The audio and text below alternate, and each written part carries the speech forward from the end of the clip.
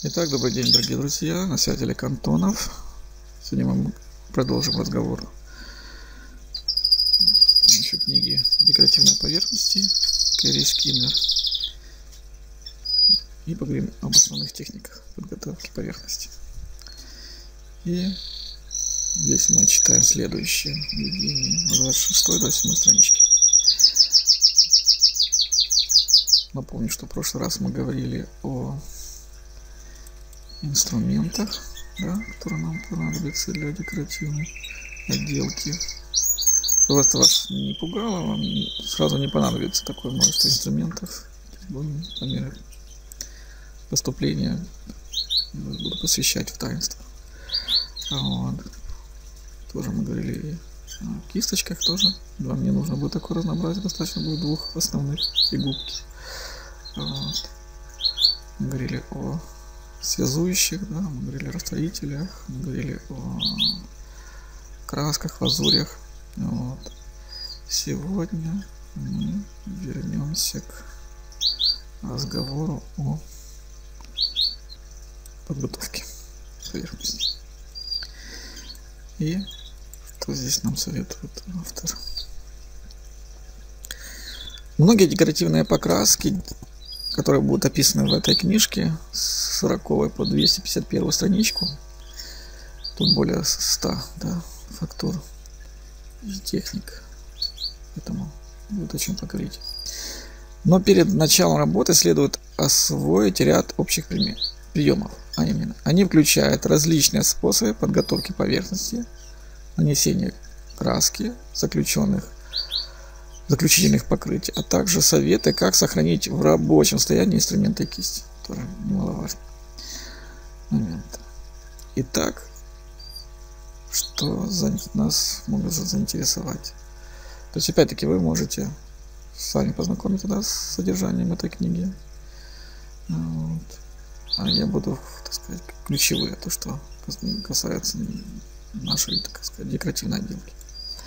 Потому что с деревом я не работаю, работаю я больше по э, как это говорил один декоратор монументальная живопись, да, художественная роспись стен. Поэтому мы поговорим о то, что касается стен. Итак, здесь говорится, что необходима да, хорошая подготовка поверхности, поскольку ее качество повлияет на внешний вид росписи. Никто не будет с этим спорить. Разные поверхности требуют различной предварительной подготовки. Здесь говорится вот, подготовка штукатуры на поверхности. Вот это нас, наверное, заинтересует. Что здесь говорится? Читаем. Зашпаклюйте все трещинки и выемки интерьерной шпаклевкой. А когда она высохнет, зашкурьте. На большие трещины носите шпаклевку мастерком.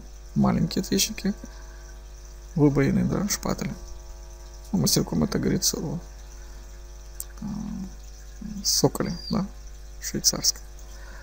А маленький это мы говорим ласточка. Итак, после э, зашкуривания затрите поверхность чистой влажной ткани. Ну, можно и акриловая грунтовка, да, тут клей ПВА разведенный там, с водичкой. Один к четырем, один к трем. Он служит нам хорошей помощью, с подспорьем в этом вопросе. И также можем водоэмульсионную краску, да, которая разведена с водой, э, загрунтовать эту поверхность. Далее. Тут говорится грунтовка штукатурки. Что здесь мы читаем? Свежую или предварительно необработанную штукатурку или очень пористая поверхность. Перед нанесением краски следует покрыть слоем ПВА. Ну, не только краски, да, штука, ну, и модельных масок, декоративных шпаклевок, декораторских, да, штукатурок. Покрываем слоем, да, грунтовочный слой. Так, или белой эмульсионной краской, да, разбавленной водой, этим понятно.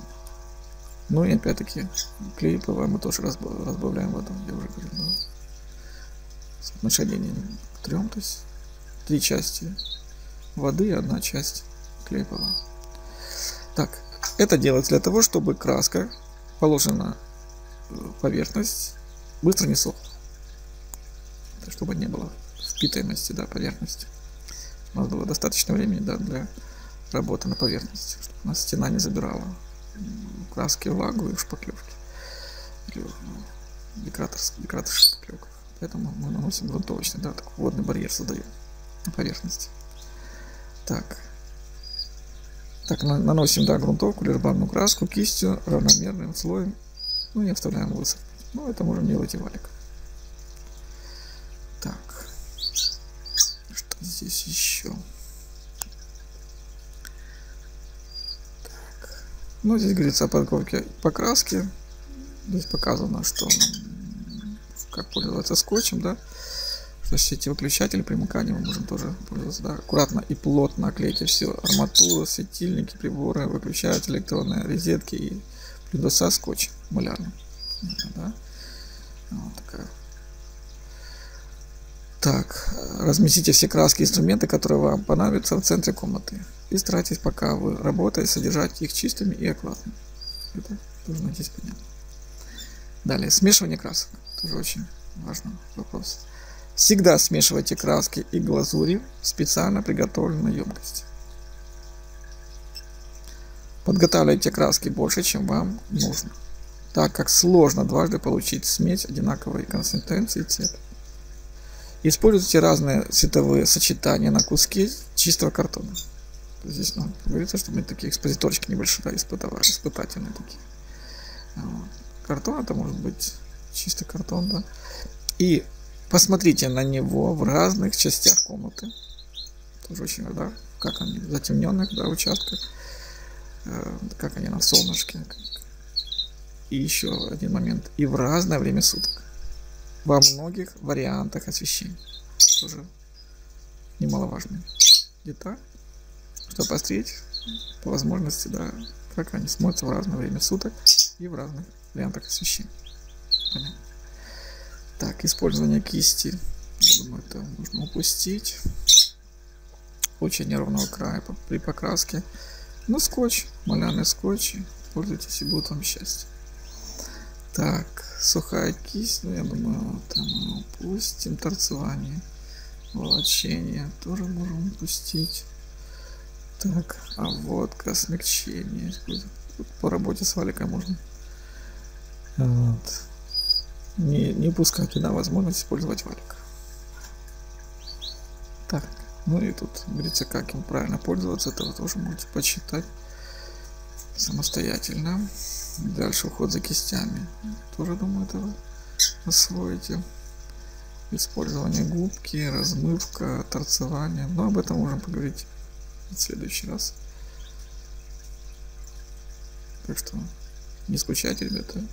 Не переключайтесь, оставайтесь с нами. Далее буду. С вами был Олег Антонов.